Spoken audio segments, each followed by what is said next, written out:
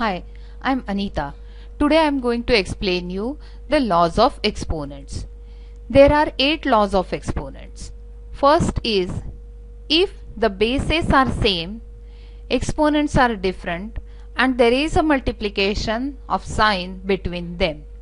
That means a to the exponent m times a to the exponent m here the bases are same, exponents are different and there is a multiplication sign in between them. Then you have to add the exponents. For example, if I have given 4 to the exponent 5 times 4 to the exponent 3, then you have to add the two exponents 5 plus 3 so your answer will be 4 to the exponent 8. Now the second law is bases are same, exponents are different and there is a division sign in between them. a to the exponent m divided by a to the exponent n then you have to subtract the second exponent from the first. For example,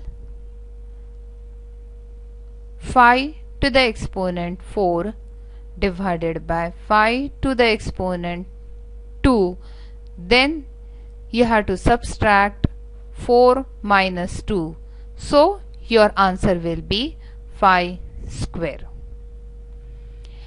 I'm taking one more example.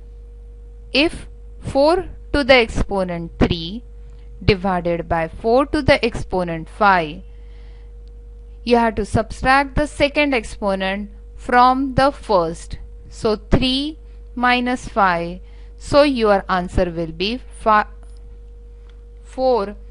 to the exponent negative 2 now third law is power to power law.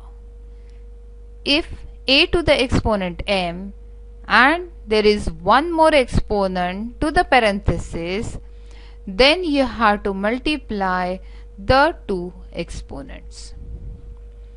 For example, if 2 to the exponent 3 to the exponent 2 then 2 to the exponent 3 times 2 so 2 to the exponent 6 now, the next law is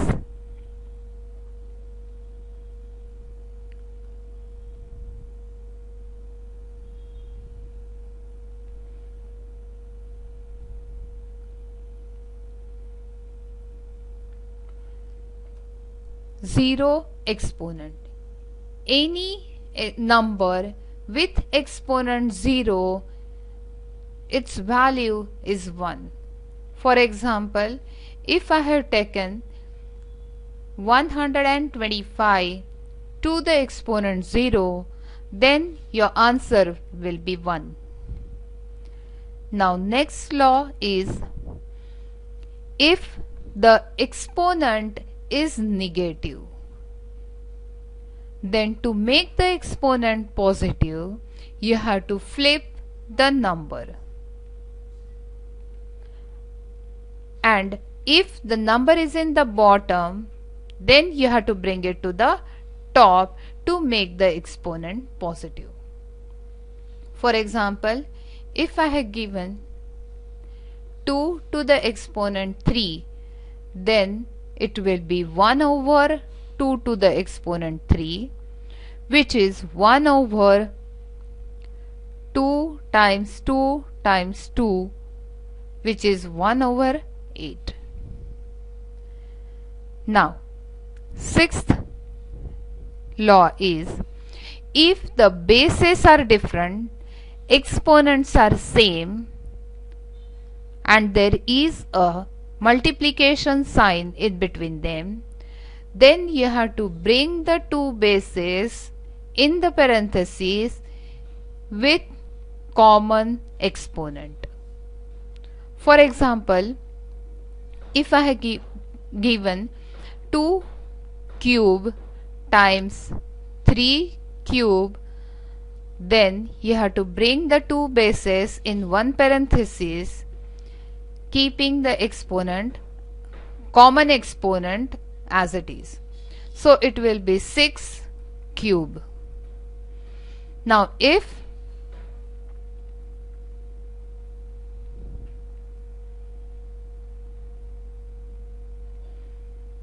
Now seventh law is bases are different and there is a division sign in between them.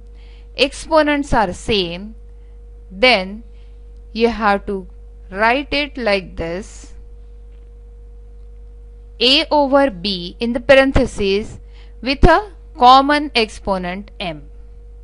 For example, 4 cube divided by 2 cube.